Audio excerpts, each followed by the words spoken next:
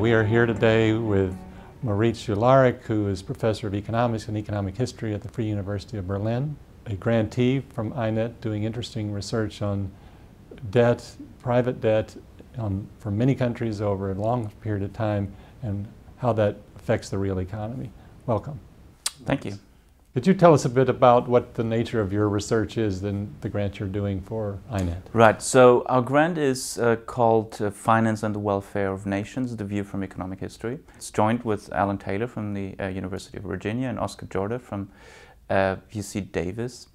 Uh, we, what the general idea is to use macroeconomic history um, and empirical methods, marry them, bring them together, and um, then be in a position to say more about very crucial and important policy questions, such as what's the relation between finance and growth? What's the role of financial factors in the business cycle? Um, and you know what are the costs and, and uh, uh, of financial crises?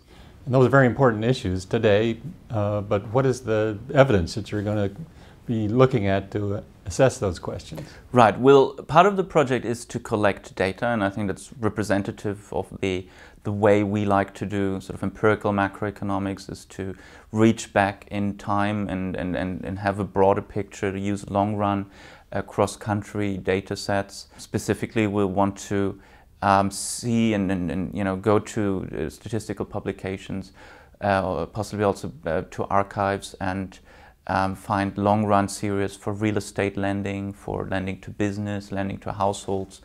Um, this reflects one important gap in the literature, which is we don't have an awful lot of uh, disaggregated credit data. Are there countries that you can get that kind of disaggregated data? Well, going back very far. Right. For some countries, it's not. It will be possible. I can. For Germany, uh, the data um, situation is relatively good. For the U.S., I think we're hopeful to um, get more uh, granular series at least as far back as 1896 when um, most statistical uh, collections start. One of the historical comparisons uh, that has been done in recent years is done by Rogoff and Reinhart in looking back at credit issues and, and economic performance. How does your research differ from their research? Our work is similar to theirs in spirit. Our focus, though, is on uh, private credit. So uh, uh, Carmen and Ken looked at public debt, and what we add to that literature is detailed annual private credit data. Uh, I think both Ireland and, and to some degree Spain illustrate the fact that is actually what drives lending booms and what causes financial instability is very often the private sector. It's unsustainable lending booms in the housing sector or maybe an overinvestment uh, driven by by corporations that get very optimistic about the future and at some point these um, um, investments and, and, the loans that uh, were used to finance these investments go bad. You wouldn't capture that just looking at public debt. I, I would even say it's the private sector that's at the heart of the question of what role finance and credit plays, leverage plays in the macroeconomy. And what has led you to believe that you would have even a better understanding if you had a breakdown of the types of private credit. That's where the link comes into sort of the, the title of our project, Finance and the Welfare of Nations, is that um, the economic functions played by lending differ substantially. That you know, it's it's not absolute. It's, it's not the same thing whether a bank extends credit to a company for productive investment, or whether a household borrows from a bank to finance the purchase of an already existing house or an already existing apartment right? One is, uh, is linked, positively linked with uh, economic growth and development.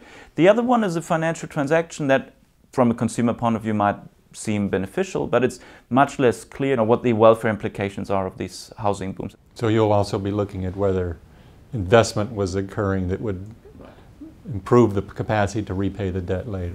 Right, that's a crucial focus of um, going beyond the aggregate credit data will be to um, as far as possible, trying to distinguish between lending and debt that was used for productive purposes, productive investment, as you know, to the degree we can, this is we can define that, um, and lending that went into uh, construction, which you know is, is necessary and good, but went into mortgage uh, lending, etc., to see whether there are different uh, economic um, implications. Consumer lending being the third category, for example.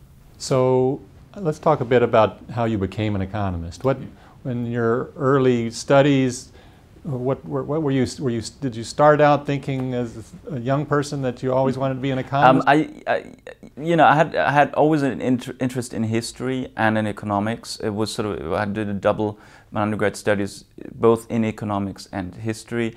But I have to admit, I came more from the historical side and over time became more and more interested in, in, um, in sort of macroeconomic theory and then did my PhD in, in, in, in, economics. I think there are important policy lessons to be learned um, from, from looking at history, and there's a lot that history has to tell us for, um, for policy questions that we try to solve right now. Uh, to give you an example, when the financial crisis struck in 2007, 2008, um, you know, there wasn't that much that macroeconomics textbooks had had to say about it. Um, the financial sector wasn't in them. So as textbooks went out of the window, people and you know at the Federal Reserve, Ben Bernanke and others, looked to economic history. And, and when that model uncertainty is very high, people we need to become more empirical, um, be more inductive than than purely deductive, and and look at economic history. You have things to learn from e episodes that were long ago and how they developed. But how do you deal with the question of uh, that was so different 70 years ago, 140 years ago, in, in doing your economic history? Well, two answers. One is um, actually exact only by going back so far in time we see these structural breaks. And the other, the other answer is when we do cross-country comparisons, we also have to deal with these structural differences between uh, countries. And there are ways, empirical methods, to control for such uh, effects. And uh, I think this is something that um, that I and, and, and Oscar and Alan would also underline. It is important for an economic historian today that it's you know we, you use state-of-the-art empirical methods, and if there is something that possibly also an older generation of economic historians contributed to that decline of economic history in, in, in economic departments around the world, it could have been that um, when economics took that mathematical formal turn in the past 20, 30 years, um, you know, all the economic historians were not willing to, um, you know, to, to stay up to date with the empirical methods. Great. Thank you very much for coming in today and talking to us about your research and your background and your policy ideas. Welcome to the INET community and we're pleased that you're one of our grantees. Thank you very much.